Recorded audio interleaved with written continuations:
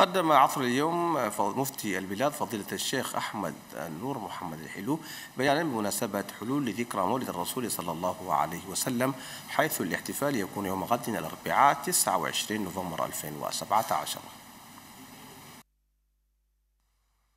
المجلس الأعلى للشؤون الإسلامية بجمهورية تشاد يتقدم لجميع المسلمين في الأراضي الوطنية بالتهنئة بمناسبة هلول شهر ربيع الأول لهذا العام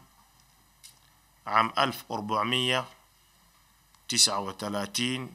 الموافق 2017 ميلادي بذكرى المولد النبوي الشريف وخاصة التهنئة موجهة إلى فخامة رئيس الجمهورية إدريس ديبي إتنو وأسرته الكريمة وللحكومة والشعب التشادي عامة بالصحة والعافية والتقدم والازدهار لبلادنا الحبيبة تشاد كما ينتهز المجلس الأعلى للشؤون الإسلامية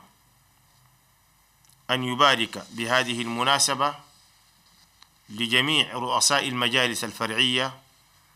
والأئمة والدعاة وشيوخ الزوايا وجميع المسلمين بهذه الذكرى العطرة وإحيائها بدراسته صلى الله عليه وسلم بدراسة سيرته وشمائله ومدحه وإحياء النفوس بهذه الذكرى العظيمة على القلوب.